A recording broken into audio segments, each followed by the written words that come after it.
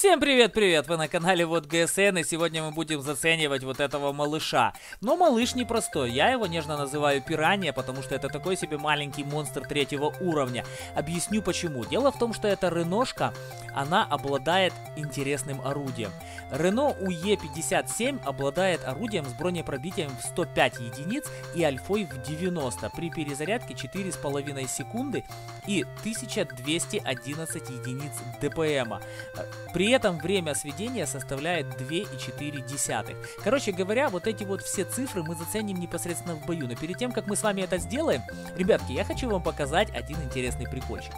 Как мне кажется, поправьте меня, если вы со мной не согласны, самое приятное сочетание пробития к альфе у ПЗ-3 на его топовой пушке 4 уровня. И оно составляет 65 единиц бронепробития. Ребят, 65, не 105, 65 единиц пробития и 80 единиц среднего урона.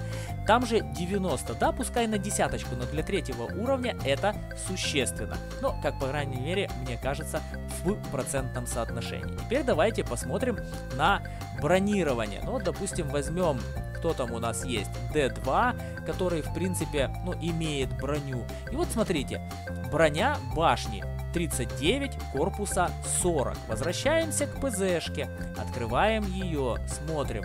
Броня башни 32, корпуса 54. Короче, ребят, я к чему говорю? Я просто говорю к тому, что у этого малыша бронепробития достаточно для того, чтобы сшить практически во все места, в принципе, все танки на своем уровне. И в принципе довольно неплохо противостоять в отношении бронепробития машинкам уровнем выше.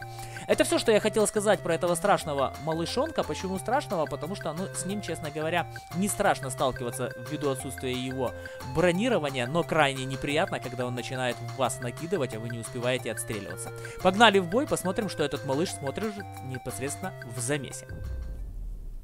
Ребят, пока мы запрыгиваем в бой, обратите внимание на правый нижний угол, там есть желтый шильдик, наведите на него мышью и буквально за одну секунду, нажав на кнопку подписаться, вы становитесь постоянным зрителем моего канала. Я вам буду безумно благодарен, без ваших подписок каналу не существовать, и это будет ваш существенный вклад в развитие моего начинания. Для вас эта подписка не стоит ровным счетом ничего, ноль, полный ноль, даже крошки хлеба. А для меня это, ну, просто огромный кусочек кислорода для моего канала. Спасибо вам большое за благовременно.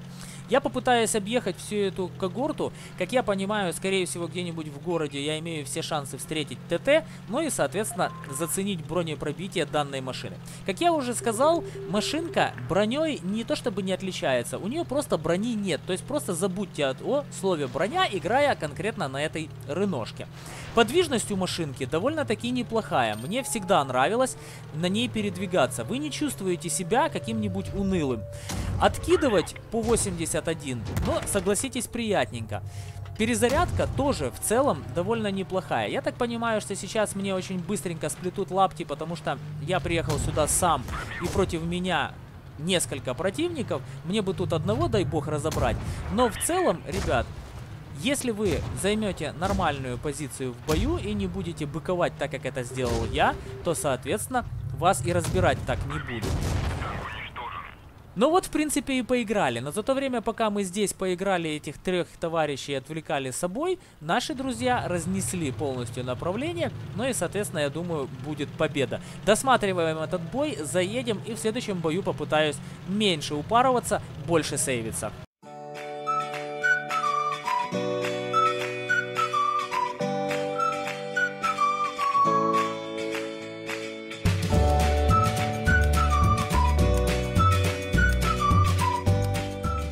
Итак, друзья, закончился наш бой, слава богу, закончился победой. 340 единиц урона в общих показателях нашей команды мы заняли среднячок. И этот среднячок мы успели занять, несмотря на то, что нас разбивали трое противников, а мы просто от них отбивались. Сейчас забрасываемся в следующую катку, ну и, соответственно, посмотрим, что будет, если попытаться не лезть на рожон и отыгрывать где-нибудь на расстоянии.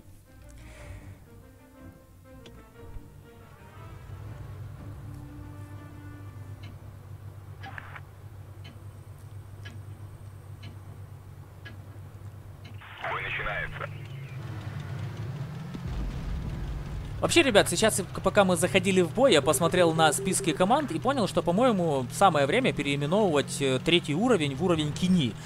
И вот так вот с друзьями там где-нибудь встречаешься и говоришь, вы знаете, а я люблю там восьмой уровень, кто-то говорит, а мне нравятся десятки, а кто-то такой сидит такой говорит, а мне нравится больше всего играть на Кини. Уж больно много их стало, машинка действительно всем зашла, машинка довольно фановая, довольно прикольная, ну и довольно бесплатная.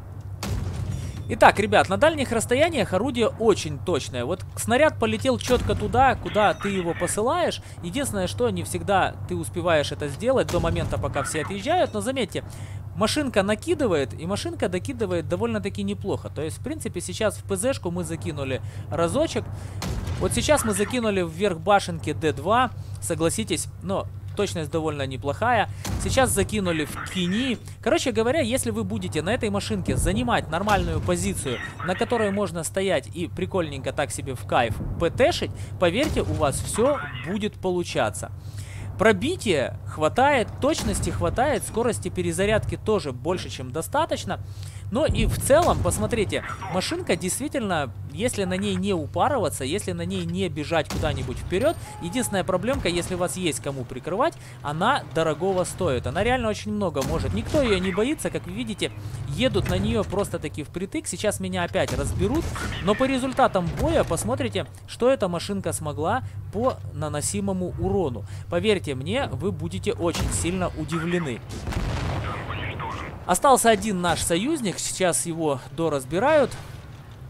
Наш про немножко подзастыл, но такое тоже встречается. Итак, ребят, давайте заценим результаты боя. Да, это проигрыш. Но согласитесь, команда полностью слилась. Если бы команда немножко выдержала, то мы бы, в принципе, вытянули вполне спокойно на победу, потому что 700 с копейками, почти 800 единиц урона, и, ребят, в нашей команде это первое место. Вот пожили бы мы чутка подольше, вот поиграли бы вот эти ребятка чутка получше, если бы у них получилось, ну и, соответственно, мы бы накосили гораздо больше. Я вам скажу так, на этой машинке можно делать вполне спокойно косарь, а то и косарь с копейками урона абсолютно без печали. Главное, чтобы этому малышу нашлось место в бою такое, в котором его не будут разбирать, а команда сделает все необходимое для того, чтобы в него не прилетало, отвлекая на себя противников. Ну а вы в это время будете в них набрасывать по 90. Поверьте, это очень кайфово на третьем уровне. Всем большое спасибо за просмотр, возвращайтесь на канал, я всегда буду рад видеть вас. Подписывайтесь на канал по желтому шильдику, который видите в правом нижнем углу, я вам буду безумно благодарен. Также буду безумно благодарен за ваши лайки и комментарии под данным видео. Всех благ, всего хорошего, мира вам и спокойствия.